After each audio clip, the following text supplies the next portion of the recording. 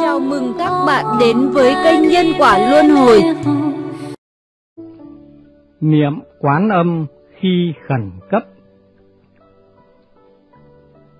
Hôm nay tôi xin truyền cho quý vị một yếu quyết, đó là yếu quyết để áp dụng trong giờ phút thật khẩn cấp.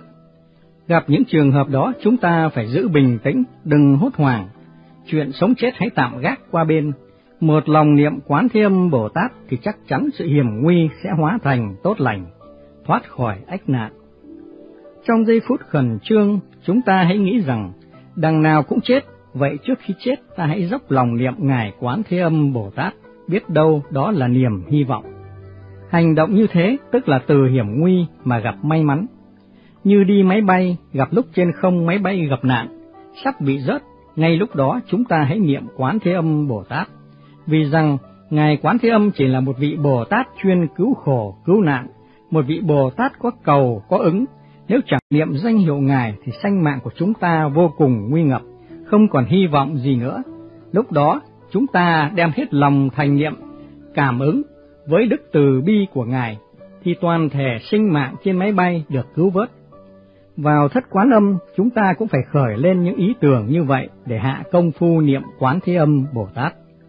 Chúng ta lại tưởng tượng khi đi xe lửa và giả thử ngay khi biết xe lửa chật đường dày, tức là trong khoảng thời gian đường tơ kẽ tóc đó, nếu chúng ta không niệm quán thế âm Bồ Tát, toàn thể hành khách trên chuyến xe đó đều gặp nạn tử vong.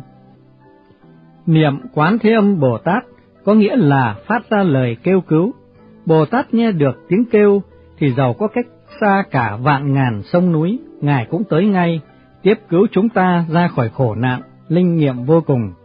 Lại tưởng tượng, chúng ta đi tàu trên biển, chẳng may gặp cảnh tàu sắp đắm, cái nguy cơ gửi thân trong bụng cá, trong phút nguy cấp ta niệm quán thế âm Bồ Tát, tới phút chót cũng niệm, tới giây chót cũng niệm. Nếu được như vậy, nhất định là hung hóa cát.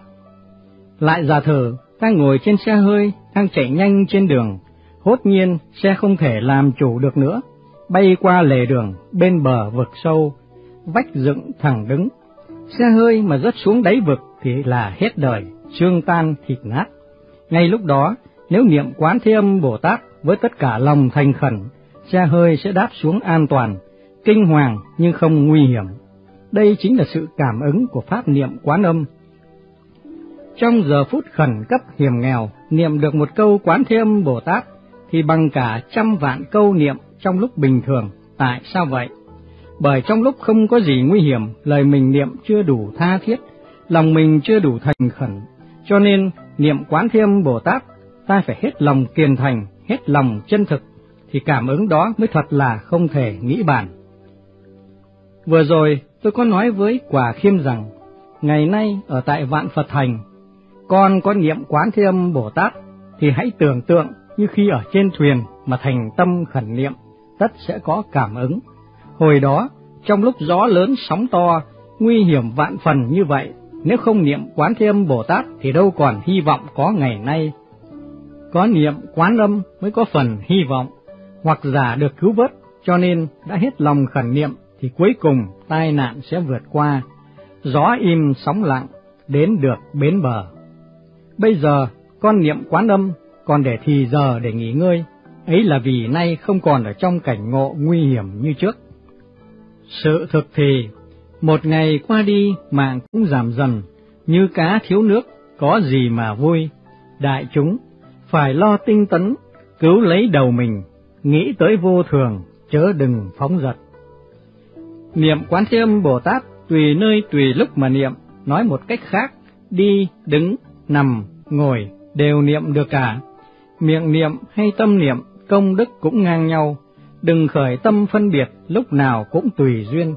Phải nhớ rằng, chờ tới lúc mạng chung mới niệm thì đã quá muộn, không còn cơ hội nữa.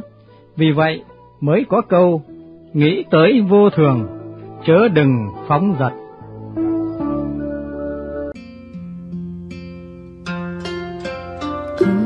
ha ha ha, 问三摩地所。